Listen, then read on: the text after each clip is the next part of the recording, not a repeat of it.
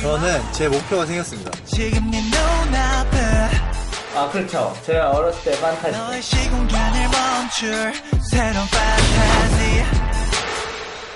알싸한 비밀이요? 저희가요?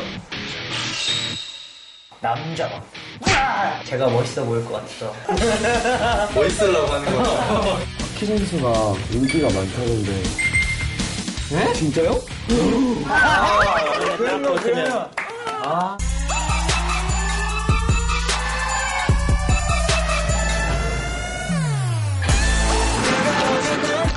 하는 데까지 최선을 다해서